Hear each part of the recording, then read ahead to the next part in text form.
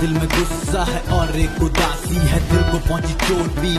अच्छी खासी है, प्यासी है वो माँ। बेटे के दीदार को, प्यासा है वो बेटा अपनी माँ के प्यार को। रो रहा है दिल, हम आप मर रहे हैं, बैठे बैठे हम बस अपने हाथ मल रहे हैं।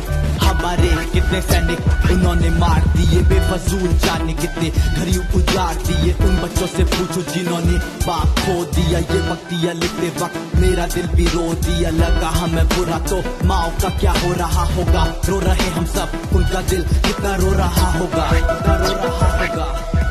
जंग होगी जंग के लिए हम सब तैयार हैं। सीने में जज्बा यही अपने हथियार है। चाहो तो बुला लेना, जंग हो तो आजमा लेना। एक एक नौजवान तैयार लड़ने को, अपने अंदर का फौजी तैयार मरने को, तैयार मरने को।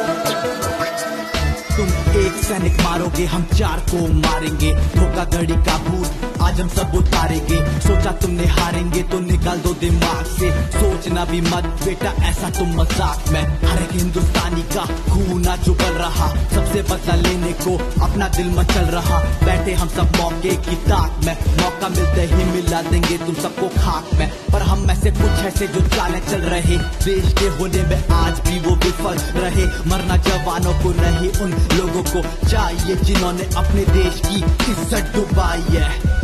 करना हो, राजनीति तुम कर लेना। लड़ना हो, नेताओं से तुम लड़ लेना।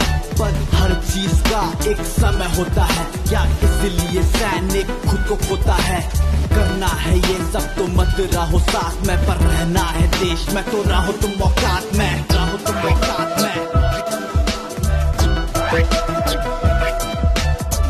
अपनी औकात में, वरना विश्वास हो जाएगा। आ गया हमें गुस्सा तो बस सर्वनाश हो जाएगा। बिना रुके हुए फिर वार करते जाएँगे। जिनके दम पे तुम उछल रहे, एक बार में मर जाएँगे। बेटा, तुमको बता दो, तुम चाहो ना चाहो, पर ये अपने आप होता है, अपने आप होता है। बच्चों की औकात ना होती कुछ भी क्योंकि पाप पाप होता है। हाँ।